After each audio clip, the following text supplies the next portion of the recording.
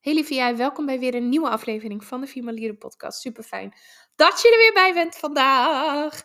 Ik wil je vandaag even weer een update geven van mijn 30k in 30 dagen challenge.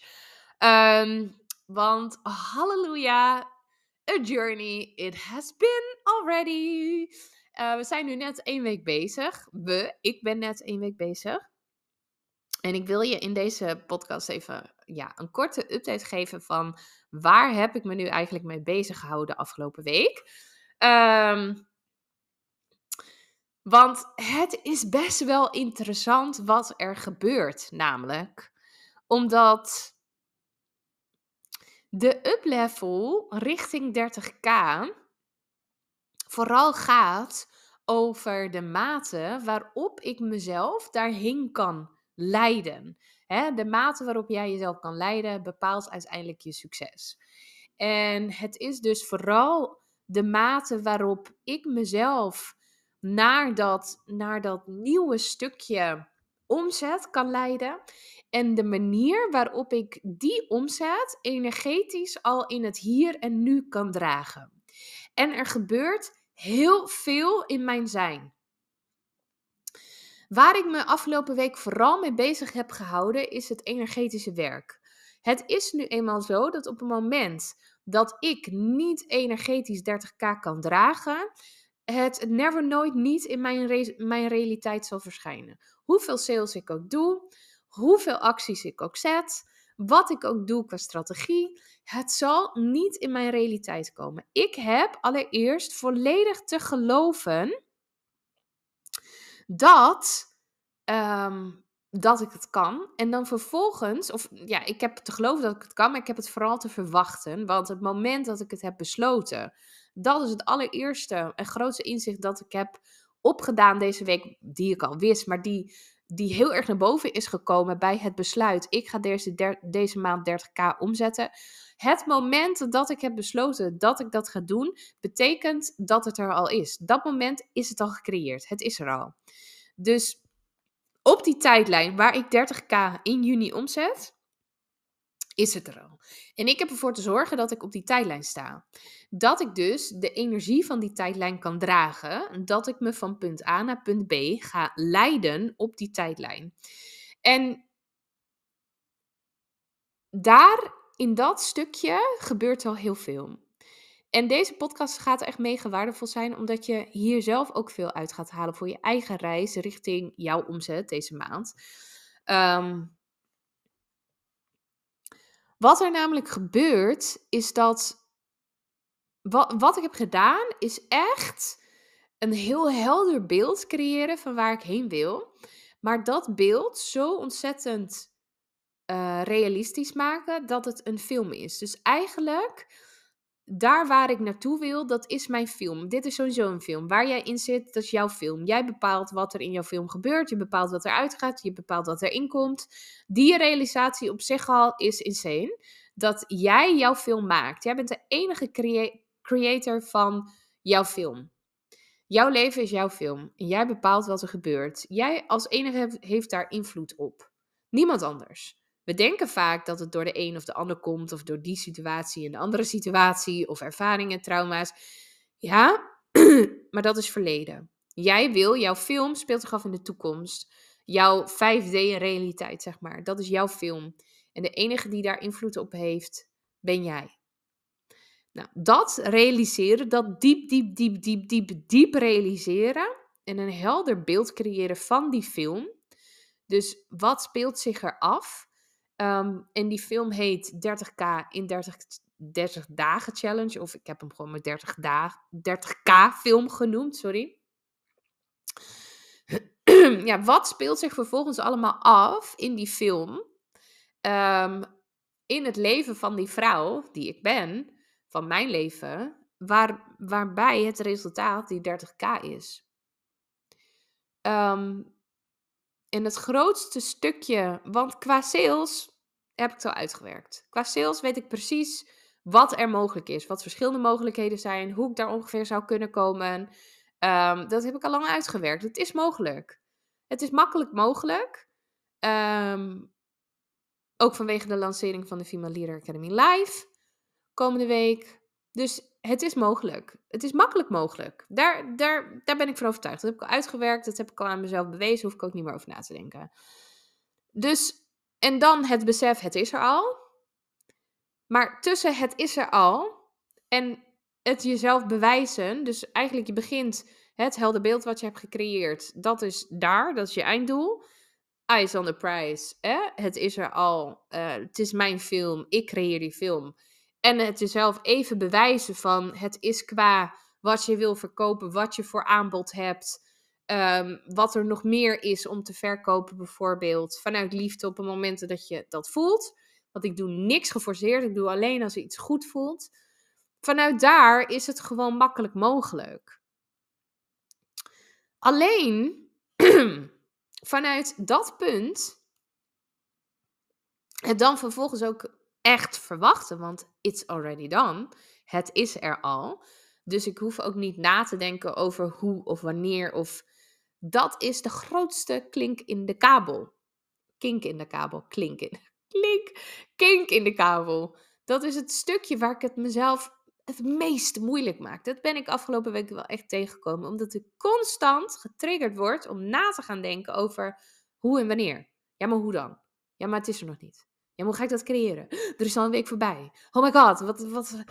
Ja, maar hè, als, alsof die 30k nu per se gehaald moet worden. Nee, dat, dat is helemaal niet zo. Het gaat voor mij alleen al om de uplevel in energie en de uplevel in zijn en de uplevel de, in de mate waarop ik mezelf naar zo'n omzet kan leiden. Of in ieder geval sowieso al naar, naar zo'n uplevel kan leiden. Dat is gewoon al super interessant om op die manier ernaar te gaan kijken. Maar en daarin komt natuurlijk ook weer kijken van, ja, wat, wat durf je te geloven als vrouw? Wat durf je te verwachten als vrouw? Ik zat er namelijk ook over na te denken. Er zijn gewoon mensen, die vrouwen, hè, die vind ik super inspirerend, die gewoon binnen zes maanden een miljoenenbusiness neerzetten.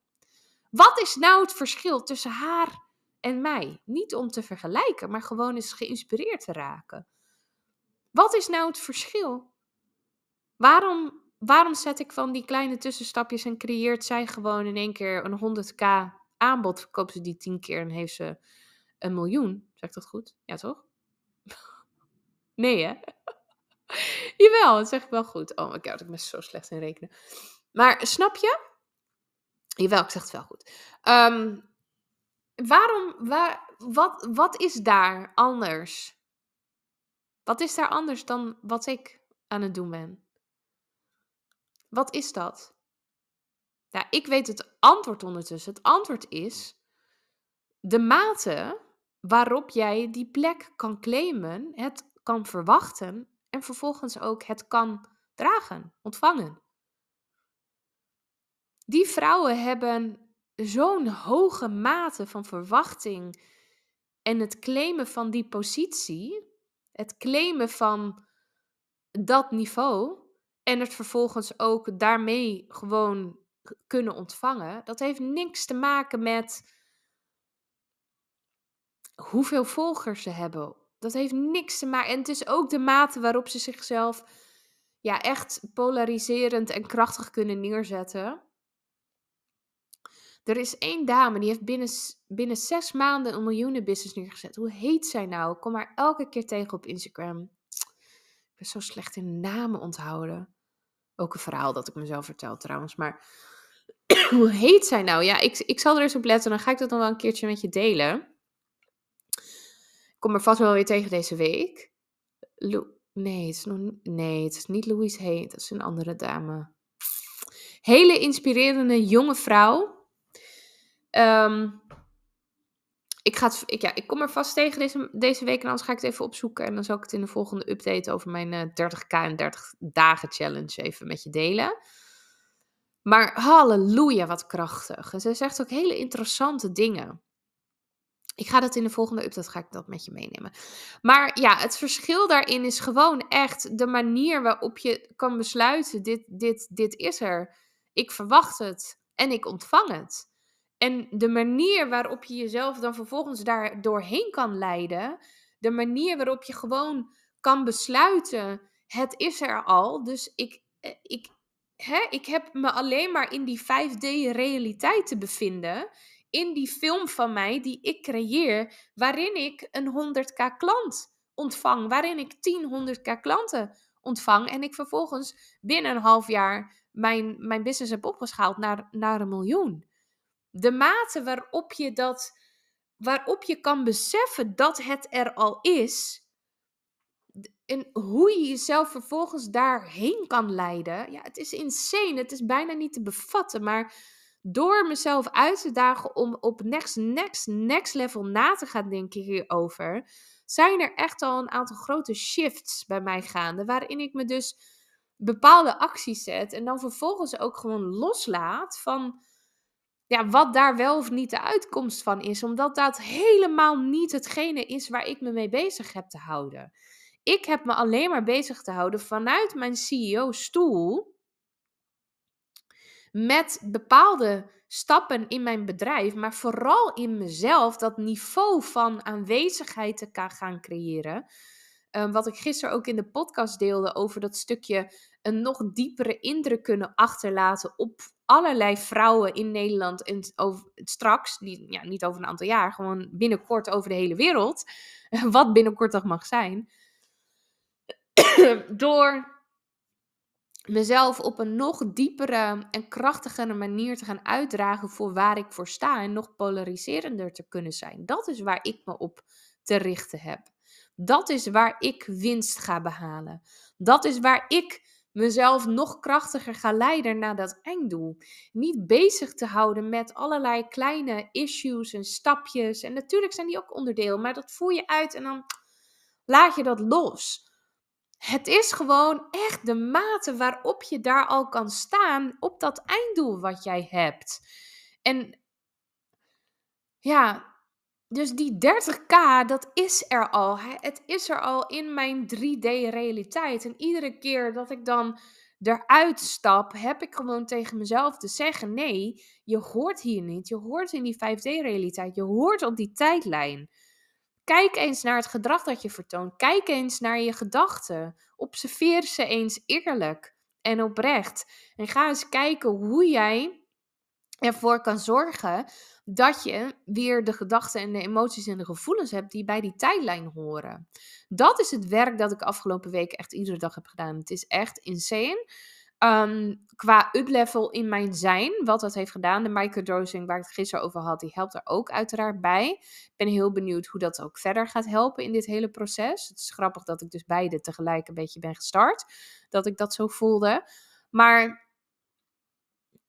ja, dat is het allereerste werk dat ik heb gedaan. En ik heb een aantal krachtige salesacties gezet.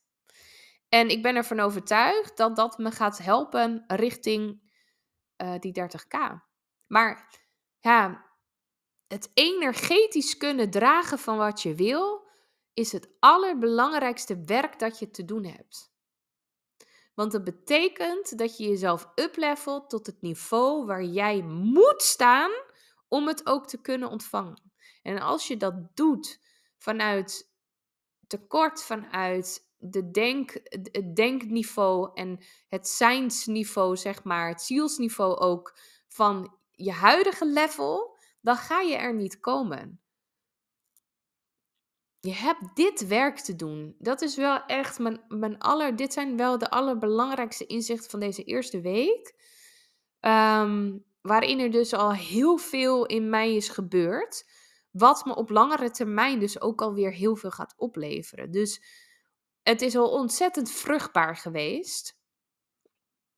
Dat zie ik nu op dit moment nog niet terug in de resultaten. Maar ik weet dus wel dat het resultaat gaat leveren.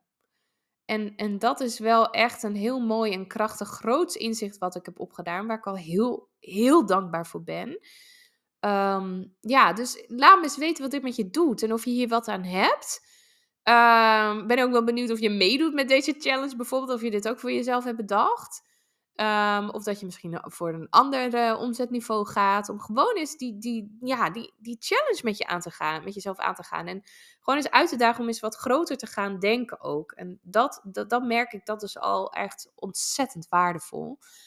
Um, ja, laat het me eens weten. Ik zou het leuk vinden om daar wat over te horen. Ik zou het ook leuk vinden als je kan laten weten welke inzichten je hebt opgedaan uit deze podcast. En het zou super tof zijn als je kan delen in je stories dat je naar deze podcast hebt geluisterd. Welke, dat je even me erin tagt. Dan kan ik jou ook weer taggen in mijn eigen stories. Ehm, ja, daar help je niet alleen mij mee, maar ook heel veel andere vrouwen die deze podcast gewoon mogen vinden om ook weer, nou ja, Ehm, verder te kunnen groeien in zichzelf en in hun business. Ik wil je heel hartelijk bedanken voor het luisteren en ik spreek je morgen weer.